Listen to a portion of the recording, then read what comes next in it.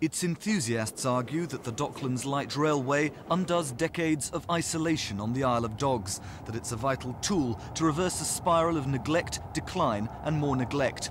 Others say the railway serves business first and residents second. For many, it's a symbol of unwelcome change. Yes, it'll link the island to the rest of London.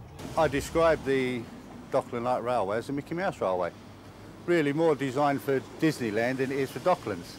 I think the thing that changed my mind was the fact that we went on, well, we, were, we had a ride on the railway, you know, test ride. in fact, to get from the Island Gardens to Tower Hill in 12 minutes is going some. But residents know that the railway represents the future, a future which threatens to overwhelm people who've lived here all their lives. See, the, only, the problem with the island at the moment is, in such a change that a lot of the families, whereas they would have been close knit, are being spread about all over the place because, as you know, the local community can't can't afford to live here, so they, they you know, they're, they're moving out. Well, they're being forced out, basically. That business wants and needs the railway is undisputed. For the owners of the Daily and Sunday Telegraph, now joining the Fleet Street exodus east, transportation was a major factor. There are a long list of good reasons for coming here. On the other side, the one thing that stands out uh, above all others uh, is the one of transport. There are no tube stations, there are no ra main railway line stations. Obviously, uh, the presence of the light railway uh, must have been an influence. But the railway has destroyed businesses as it's created them. Haulage boss Carlin Feel superglued herself to her office stairs to try to get more money from London Regional Transport, who'd compulsory purchased her premises. Later, she chained herself to LRT headquarters. And when Carlin tried to find a new base on the Isle of Dogs, more disillusionment. But because I'm a little fish, nobody wanted to know. And I was actually told that, but told it would never be said to me official.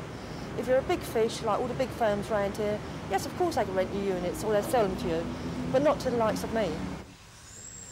This is the view from a bedroom on the Shadwell Gardens estate. Already served by the tube, residents here are unimpressed by the new train, though it's certainly made an impact. We were promised an almost silent train, but this thing makes an incredible clicking, whirring, whistling noise when it comes in. It's releasing its air brakes all the time. And it's much closer to our house than any normal train is, so of course it makes more noise. It sounds as though at night it's coming into the bedroom and sliding up to the foot of the bed. The Isle of Dogs isn't an obvious tourist attraction, but the railway affords spectacular views, and just across the river from its end is Greenwich. Tour operators are already thinking up new delights.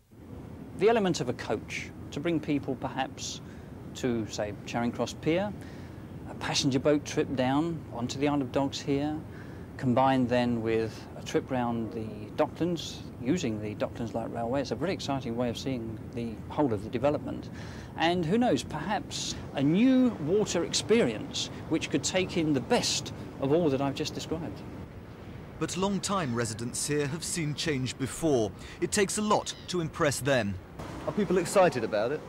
Oh yes, I think people are excited. I mean, it, the, the, trains look quite attractive, but then, um, you know, I mean, kids' train sets look quite attractive, and a lot of dads and mums play with them as well.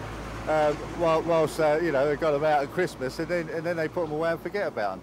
I mean, once once I think they've got over the initial kind of thing of seeing the red, white, and blue trains whizzing up and down, um, I think that, that a lot of people will probably then argue where have the red buses gone. The Docklands Light Railway opens for business tomorrow. Before long, for good or ill, it'll become a part of everyday life. Paul Larsman, Thames News.